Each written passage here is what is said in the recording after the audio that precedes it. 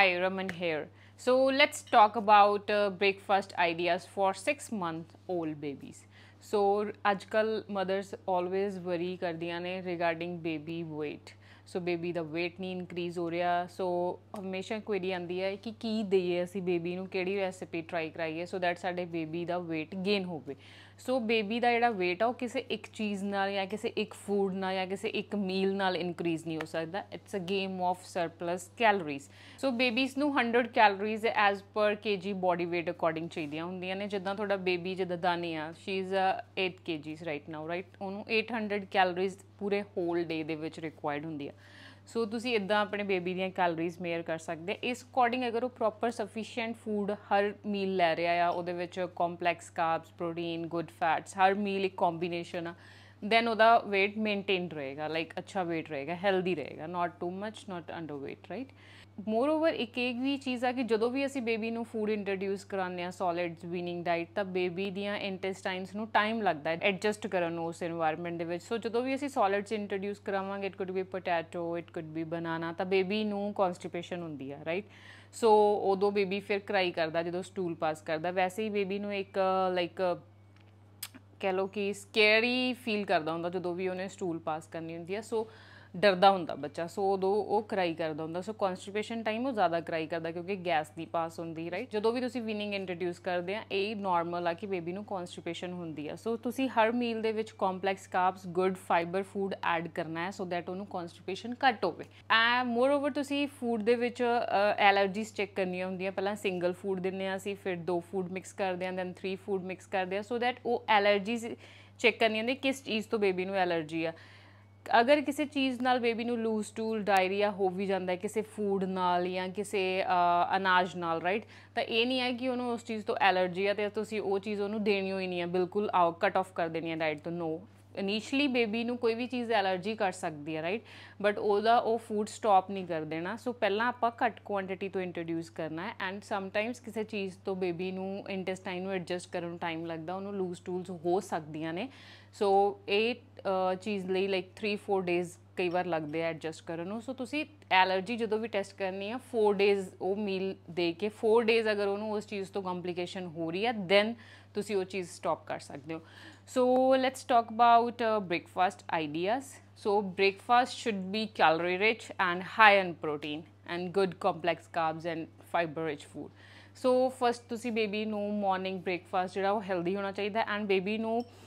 Feed ਦੇ ਵਿੱਚ ਉਹਦੀ ਜਿਹੜੀ ਬ੍ਰੈਸਟ ਮਿਲਕ ਜਾਂ ਫਾਰਮੂਲਾ ਫੀਡ ਦੇ ਵਿੱਚ ਬੋਟਲ ਫੀਡ ਦੇ ਵਿੱਚ 2 ਆਰਸ ਦਾ ਗੈਪ ਹੋਣਾ ਚਾਹੀਦਾ ਹੈ। ਸੋ ਤੁਸੀਂ ਮਾਰਨਿੰਗ ਜਦੋਂ ਵੀ ਤੁਸੀਂ ਉਹਨੂੰ ਫੀਡ ਕਰਨੀ ਆ, ਤਾਂ ਉਹਨੂੰ ਮੇਕ ਸ਼ੋਰ ਚੇਅਰ ਤੇ ਬਿਠਾਓ ਸੋ ਦੈਟ ਬੇਬੀ ਨੂੰ এনवायरमेंट ਪਤਾ ਲੱਗੇ ਕਿ ਮੈਂ ਜੇ ਚੇਅਰ ਤੇ ਬੈਠਦਾ ਆ ਤਾਂ ਇੱਥੇ ਹੁਣ ਮੈਨੂੰ ਫੂਡ ਮਿਲੂਗਾ I have to eat so preparation ਬਹੁਤ ਜ਼ਰੂਰੀ ਹੈ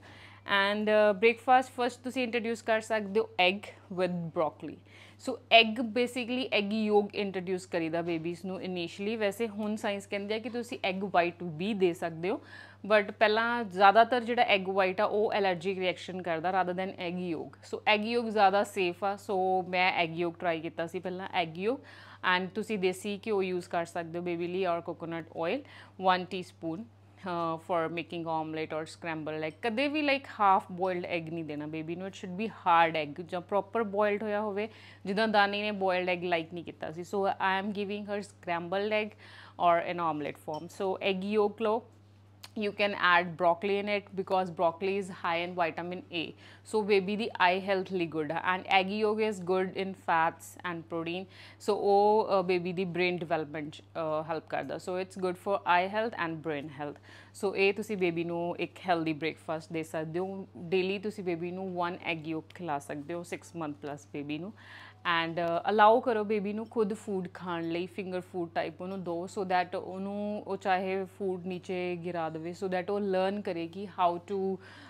have that food ਉਹਦਾ ਕਨੈਕਸ਼ਨ ਬਣੇ ਫੂਡ ਦੇ ਨਾਲ ਰਾਈਟ ਬਾਕੀ ਮੈਂ ਕਾਫੀ ਰੀਲਸ ਦੇ ਵਿੱਚ ਆਲਰੇਡੀ ਦੱਸਿਆ ਹੋਇਆ ਕਿ ਜਦੋਂ ਵੀ ਤੁਸੀਂ ਬੇਬੀ ਨੂੰ ਫੂਡ ਖਿਲਾਉਂਦੇ ਆ ਤਾਂ ਉਹਦਾ ਫੇਸ ਕਲੀਨ ਨਹੀਂ ਕਰਨਾ, ਉਹਦੇ ਨਾਲ ਬੇਬੀ ਦਾ ਫੂਡ ਨਾਲ ਉਹ ਕਨੈਕਸ਼ਨ ਟੁੱਟਦਾ ਐਂਡ ਬੇਬੀ ਇਰੀਟੇਟ ਹੁੰਦਾ ਐਂਡ ਮਾਈਟ ਬੀ ਉਹ ਉੱਥੇ ਹੀ ਸਟਾਪ ਕਰ ਦੇਵੇ ਖਾਣਾ ਰਾਈਟ ਸੋ ਨੈਕਸਟ ਰੈਸਿਪੀ ਆਪਾਂ ਬਣਾਵਾਂਗੇ ਬਹੁਤ ਅੱਛਾ ਬ੍ਰੇਕਫਾਸਟ ਆਪਸ਼ਨ ਆ ਵੀਨਿੰਗ ਡਾਈਟ ਦੇ ਵਿੱਚ 6 to 7 months old baby or above so ਇਹ ਬਣਾਵਾਂਗੇ ਆਪਾਂ ਬਨਾਨਾ ਬਲੂਬੇਰੀ ਪੈਨਕੇਕ ਤੁਸੀਂ ਸਟ੍ਰਾਬੇਰੀਜ਼ ਵੀ ਐਡ ਕਰ ਸਕਦੇ ਹੋ। So banana is a good for babies weight gain ਚ ਹੈਲਪ ਕਰਦਾ it's high in calorie and ਇਹਦੇ ਵਿੱਚ ਤੁਸੀਂ ਜਿਹੜਾ ਫਲਾਰ ਯੂਜ਼ ਕਰਨਾ, ਉਹ ਵੀਟ ਫਲਾਰ ਯੂਜ਼ ਕਰ ਸਕਦੇ ਹੋ ਓਟਸ ਫਲਾਰ ਯੂਜ਼ ਕਰ ਸਕਦੇ ਹੋ ਦੈਟ ਡਿਪੈਂਡ ਰਾਈਟ ਮੈਂ ਵੀਟ ਫਲਾਰ ਯੂਜ਼ ਕਰਨ ਲੱਗੀ ਆ ਐਂਡ ਦੈਨ ਬਲੂਬੇਰੀਜ਼ ਅਗਰ ਬੇਬੀ ਤੁਹਾਡਾ ਕਾਫੀ ਯੰਗ ਆ ਤਾਂ ਤੁਸੀਂ ਉਹਨੂੰ ਫਿੰਗਰਸ ਦੇ ਨਾਲ ਸਕੁਈਜ਼ ਕਰਕੇ ਸਮੈਸ਼ ਕਰਕੇ ਦੇ ਸਕਦੇ ਹੋ and uh, I'm adding little bit cinnamon in it so that flavorly and uh, it prevents gas and all. So let's make this recipe mashed banana and uh, blueberries put some cinnamon in and uh, wheat flour in it. So pancakes ਵੀ ਤੁਸੀਂ same ਦੇਸੀ ਘਿਓ ਔਰ coconut oil ਨਾਲ medium flame ਤੇ ਬਣਾ ਸਕਦੇ ਹੋ and baby ਨੂੰ ਖੁਦ ਖਾਣ ਦਿਓ and it can be served with yogurt so ਤੁਸੀਂ ਹੰਗ ਕਰਡ ਹਨਾ ਘਰ ਦੇ ਵਿੱਚ ਲਾਈਕ ਕਾਟਨ ਦੇ ਕੱਪੜੇ ਦੇ ਵਿੱਚ ਤੁਸੀਂ ਪਾ ਕੇ ਕਰਡ ਨੂੰ ਰੱਖ ਸਕਦੇ ਹੋ ਸੋ ਦੈਟ ਅਗਰ ਬੇਬੀ ਸਿਟਰਸ ਘੱਟ ਲਾਈਕ ਕਰਦਾ ਤਾਂ ਉਹਨੂੰ ਆਪ ਥਿਕ ਕਰਡ ਦੇ ਸਕਦੇ ਹੋ it's kind of hung curd or yogurt Blueberries has antioxidant properties and it's high in vitamin C, immune system uh, good and it's uh, high in fiber and it is constipation. So ਇਹਦੇ ਨਾਲ ਵੀ constipation ਹੋਣ ਦੇ chances ਘੱਟ ਸੋ ਇਹ ਤੁਸੀਂ try ਕਰ ਸਕਦੇ ਹੋ second recipe it's it's a combination of complex carbs good protein and good fats. So let's prepare third recipe for 6 months old baby. So that could be a oatmeal. So oatmeal is a best recipe for babies easy to digest so oatmeal ਦੇ ਵਿੱਚ ਤੁਸੀਂ ਕੋਈ ਵੀ fruit add ਕਰ ਸਕਦੇ ਹੋ but ਆਪਾਂ ਬਣਾਵਾਂਗੇ apple oatmeal right ਮੈਂ ਓਟਸ ਦਾ ਆਲਰੇਡੀ ਪ੍ਰਪੇਅਰ ਕਰਕੇ ਰੱਖਿਆ ਹੋਇਆ ਆ ਪਲੇਨ ਓਟਸ ਲੈ ਕੇ ਉਹਨੂੰ ਰੋਸਟ ਕਰਕੇ ਉਹਦਾ ਪਾਊਡਰ ਬਣਾ ਕੇ ਆਲਰੇਡੀ ਰੱਖਿਆ ਹੋਇਆ, ਉਹਦੇ ਵਿੱਚ ਤੁਸੀਂ ਲਿਟਲ ਬਿਟ ਫਲੇਵਰ ਲਈ ਫੈਨਲ ਸੌਂਫ ਪਾਊਡਰ ਔਰ ਸਿਨੇਮਨ ਐਡ ਕਰ ਸਕਦੇ ਹੋ। ਇਹਦੇ ਨਾਲ ਬੇਬੀ ਨੂੰ ਗੈਸ ਨਹੀਂ ਹੁੰਦੀ ਇਦਾਂ ਦੀ ਕੋਈ ਵੀ ਪ੍ਰੋਬਲਮ ਨਹੀਂ ਹੁੰਦੀ, ਉਹਦੇ ਡਾਈਜੈਸਟਿਵ ਸਿਸਟਮ ਲਈ ਗੁੱਡ ਆ। ਸੋ ਇਹ ਮੈਂ ਥੋੜਾ ਥੋੜਾ ਉਹਦੇ ਵਿੱਚ ਆਲਰੇਡੀ ਓਟਸ ਪਾਊਡਰ ਦੇ ਵਿੱਚ ਬਣਾ ਕੇ ਰੱਖਿਆ ਹੋਇਆ। ਐਂਡ ਤੁਸੀਂ ਓਟਸ ਨੂੰ 15 ਡੇਜ਼ ਸਟੋਰ ਕਰ ਸਕਦੇ ਹੋ 1 ਮੰਥ ਤੱਕ ਵੈਸੇ ਸਟੋਰ ਕਰ ਸਕਦੇ ਹੋ but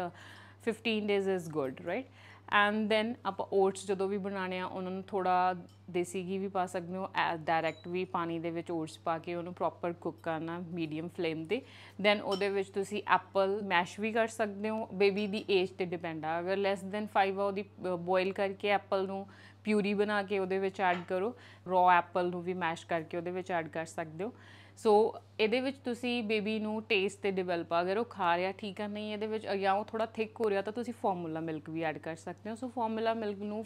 ਲਾਈਕ ਹੀਟ ਕਰਨ ਦੀ ਲੋੜ ਨਹੀਂ ਆ। ਸੋ ਉਹਨੂੰ as it is formula milk ਨੂੰ ਡਿਲੂਟ ਕਰਕੇ 30 ml ਜਾਂ 15 ml ਫਾਰਮੂਲਾ ਮਿਲਕ ਉਹਦੇ ਵਿੱਚ ਐਡ ਕਰ ਸਕਦੇ ਹੋ। So these three are the best recipes and moreover apple is good for uh, baby health. It's high in and ਇਹ ਵੀ ਕਨਸਟੀਪੇਸ਼ਨ ਤੋਂ ਰਿਲੀਵ ਕਰਦਾ ਕਿਉਂਕਿ it's a good combination of complex carbs and high in fibre right so try these recipes three breakfast ideas ਇੱਕ ਇੱਕ ਦਿਨ ਛੱਡ ਕੇ ਵੀ ਦੇ ਸਕਦੇ ਹੋ so breakfast should be healthy like king right so babies we same ਇਦਾਂ ਹੀ ਉਹਨਾਂ ਨੂੰ ਤੁਸੀਂ 6 ਮੰਥ ਪਲੱਸ ਬੇਬੀ ਨੂੰ 3 ਮੀਲਸ ਦੇਣੀਆਂ ਹੁੰਦੀਆਂ ਡੇ ਦੇ ਵਿੱਚ ਬ੍ਰੇਕਫਾਸਟ ਅਗਰ ਬ੍ਰੇਕਫਾਸਟ ਜ਼ਿਆਦਾ ਬਣ ਜਾਂਦਾ ਸੇਮ ਉਹਨੂੰ ਤੁਸੀਂ ਸਟੋਰ ਕਰ ਸਕਦੇ ਹੋ ਨਾਈਟ ਟਾਈਮ ਦੇ ਸਕਦੇ ਹੋ। ਬਟ ਤੁਸੀਂ ਖਾਣਾ ਸਰਵ ਕਰਨ ਤੋਂ 2 ਘੰਟੇ ਪਹਿਲਾਂ ਖਾਣਾ ਫ੍ਰਿਜ ਚੋਂ ਬਾਹਰ ਕੱਢ ਕੇ ਰੱਖਣਾ ਹੈ ਐਂਡ ਸਨੈਕਸ ਦੇ ਵਿੱਚ ਫਰੂਟਸ ਆਲਵੇਸ ਬੇਬੀ ਨੂੰ ਦੇ ਸਕਦੇ ਹੋ ਔਰ ਫਿੰਗਰ ਫੂਡ ਬੋਇਲ ਕਰਕੇ ਦੇ ਸਕਦੇ ਹੋ like carrots and all so try these recipes for breakfast and comment below ਕਿਦਾਂ ਦੀਆਂ ਬਣੀਆਂ ਤੁਹਾਡੇ ਬੇਬੀ ਨੇ ਲਾਈਕ ਕੀਤੀਆਂ and you can ask any query if you have regarding your baby's diet so subscribe my channel thank you